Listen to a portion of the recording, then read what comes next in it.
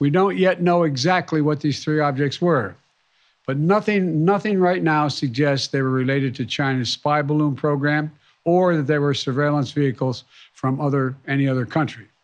The intelligence community's current assessment is that these three objects were most likely balloons tied to private companies, recreation, or research institutions studying weather or conducting other scientific research.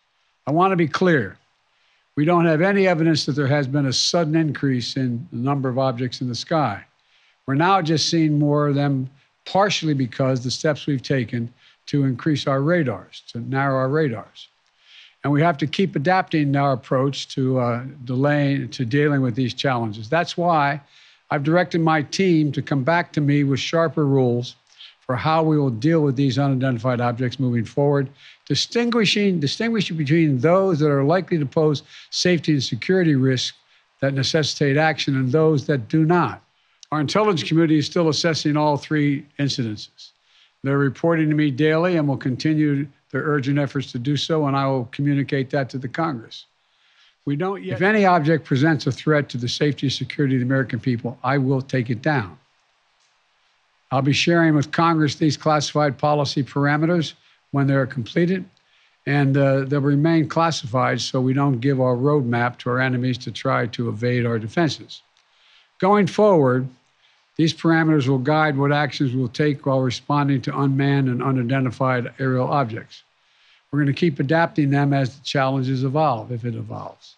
In addition, we've, I've directed my national security advisor lead a government wide effort to make sure we are positioned to deal safely and effectively with the objects in our airspace.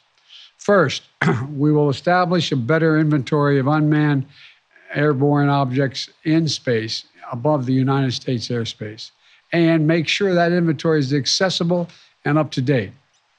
Second, we'll implement further measures to improve our capacity to detect unmanned objective, uh, objects in our airspace. Third, we'll update the rules and regulations for launching and maintaining unmanned objects in the skies above the United States of America.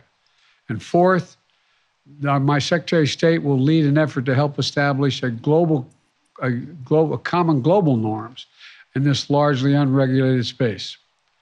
These steps will lead to safer and more secure skies for our air travelers, our military, our scientists, and for people on the ground as well. That's my job as your president, commander in chief.